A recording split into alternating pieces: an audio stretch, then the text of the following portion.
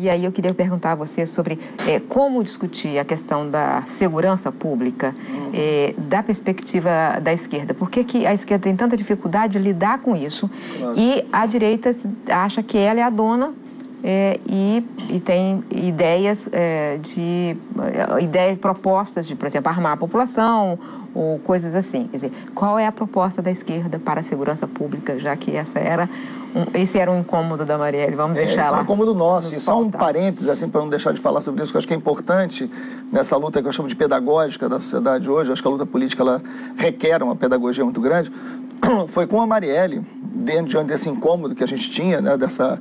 Porque isso é muito estratégico, né? Você coloca os direitos humanos na ideia de defender bandido, você tira a garantia de direitos humanos do debate central da democracia, o que para um país tão desigual como o Brasil é fundamental para naturalizar a desigualdade, né? Uhum. É, e aí a gente fez junto um projeto na Comissão de Direitos Humanos para atender é, familiares de policiais vítimas da violência. Uhum.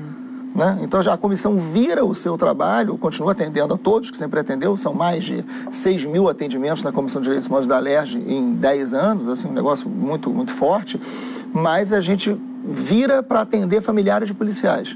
A gente vai à cúpula da Polícia Militar do Rio de Janeiro e faz um protocolo e isso é aprovado, hoje existe, foi aprovado só no ano passado, um protocolo de atendimento aos familiares de policiais vítimas de violência. Não existia um protocolo. Morre um policial, quem atende, quem faz, qual o setor, isso não existia. É a Comissão de Direitos Humanos em parceria com a polícia que faz esse protocolo. Né? Então, isso é fruto também desse, desse. Ou seja, não é só um incômodo, é um incômodo que gera uma. Que gera uma atitude. Uma atitude, né? Gera, eu, acho que se a gente viver só de incômodo, não dá, né? O incômodo tem que gerar atitude concreta, e a gente conseguiu fazer isso. Eu acho que esse, Miriam, foi o grande erro da esquerda nos últimos anos. Acho que de, da Constituição para cá, uh, ou até mesmo da Constituinte, a esquerda se preocupou muito com a questão do acesso à terra, das lutas indígenas, da educação, da saúde, com correção. É isso, é evidente, tem mesmo que se preocupar com isso. Mas a esquerda, de alguma maneira, achou que o tema da segurança pública era um tema da opressão, até porque vinha de uma ditadura civil-militar muito violenta, então o debate da segurança era um debate muito pouco sedutor uhum. para a esquerda. E pouquíssimos setores da esquerda se envolveram num debate mais profundo sobre segurança. O mundo urbano foi trazendo a segurança para o eixo central das relações de cidadania, de cidadania né? A segurança pública é o grande tema é de qualquer cidade hoje brasileira e no mundo, e a esquerda acabou perdendo um tempo muito precioso de dizer: nós temos uma proposta.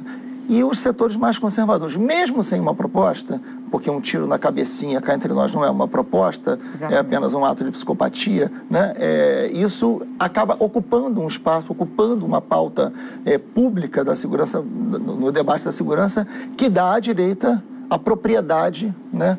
É, do debate da segurança. Acho que isso a gente precisa consertar. Esse é um dos desafios que eu quero levar para o Congresso. Eu estou entrando agora nesse Congresso que ninguém sabe o que será, né? é um mistério, né? É, é um congresso, é a maior mudança do congresso desde, desde 1990, mas nem tudo que muda muda para melhor, né? É.